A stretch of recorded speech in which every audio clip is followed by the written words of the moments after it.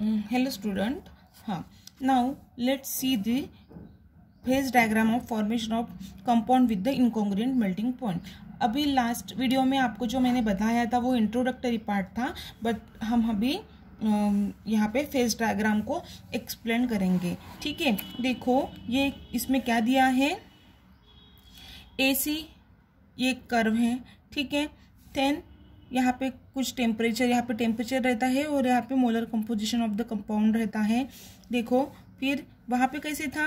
देखो कॉन्ग्रेंट में ऐसे था कर्व ये दो कर्व ऐसे थे। और ये क्या था? यहाँ पे डी से हमने क्या किया था? डिवाइड किया था। तो कॉन्ग्रेंट कंपोनेंट मिल रहे थे हमको।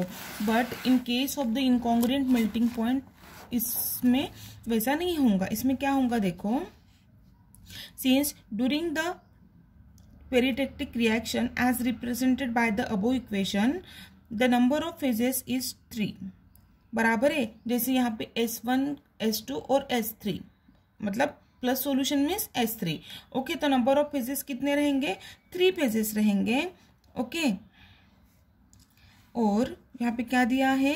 Two solids and one liquid मतलब यहाँ पे टू सॉलिड्स हैं और ये एक सॉल्यूशन मीन्स लिक्विड है. ठीक है? The system is invariant that is F dash is equal to zero F dash कितना रहेगा? ज़ीरो रहेगा जब इनवेरियंट रहेंगी। As the pressure is fix जब हम प्रेशर फिक्स्ड करेंगे hence the temperature as well as the composition of the all the phases remain fixed तो temperature और कंपोजिशन भी क्या रहेंगे? फिक्स्ड रहेंगे। The general phase diagram for the, the this type system may represented graphically as in figure ये इस figure में दिया है। ठीक है? Let a and b the two components. A और बी ए और बी ये क्या है?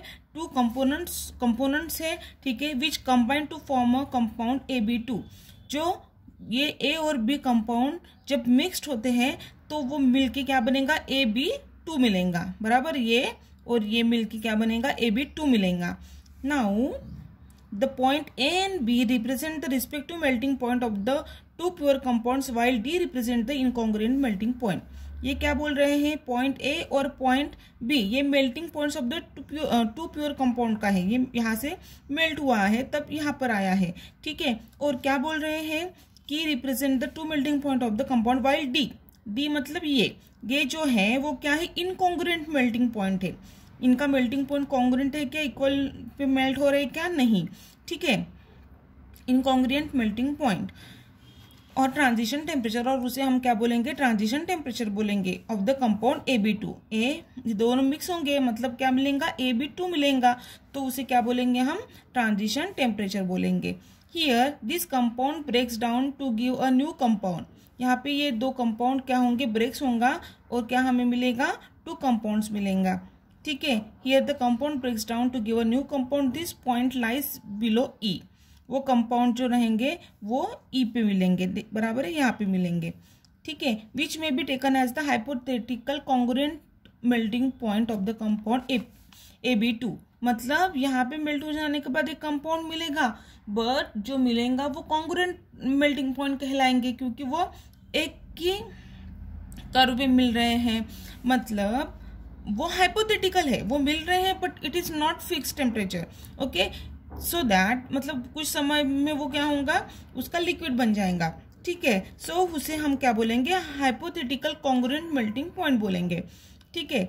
Then A C is the fusion curve of A A C that is A C okay इसे क्या बोलेंगे हम? फ्यूजन कर्व बोलेंगे।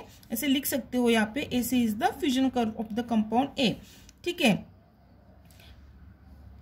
Along with the solid is equilibrium with the liquid BD और बीडी से वो इक्विलिब्रियम कर रहा है।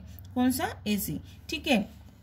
Now the fusion curve of B along with the solid B is in equilibrium with the liquid similarly C D is the fusion curve of the compound A B two और C D जो है where is C D this is C D is fusion curve of the compound A B two A B two का क्या है वो?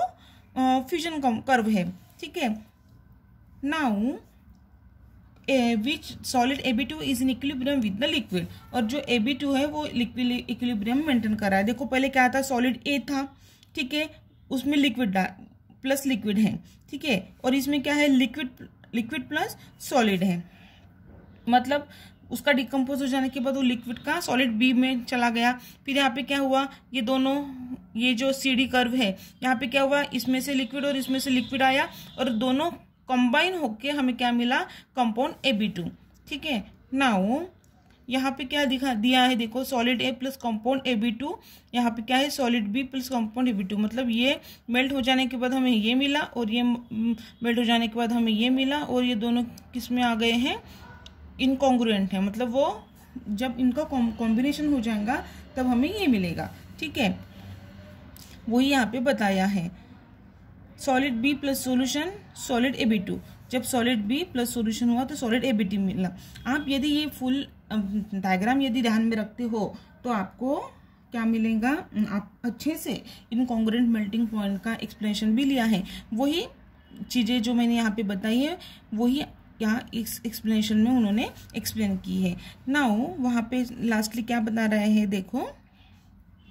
Picric acid, benzene, gold, antimony and sodium, potassium are the some example of the two component system. जैसे मैंने congruent में आपको बताया थी, magnesium, zinc, aluminium, magnesium, mercury, thallium okay वैसे ही picric acid, benzene, gold, antimony and sodium, potassium are some example of two component system है, ठीक है? Give rise to compound with the incongruent melting point ये जो compound है, वो कौन सा इनकॉन्ग्रियंट मेल्टिंग पॉइंट आपको दे रहा है। Among among guest the salt hydrate mention may be made of the sodium sulphate water system ठीक है? Among among the salt hydrate mention may be made of the sodium sulphate water system इसमें एक जो है, वो क्या है? Salt hydrate water